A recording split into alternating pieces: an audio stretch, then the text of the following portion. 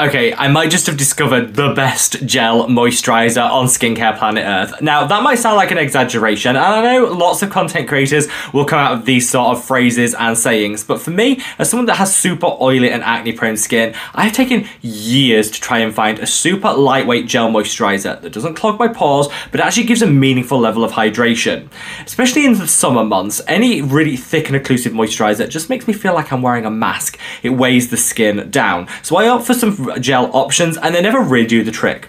Then step in the ordinary. This is their new natural moisturizing factors plus beta glucan. That beta glucan is going to calm and soothe the skin, great for those warmer summer months where skin can become a little inflammation prone. But just look at how gorgeous this applies.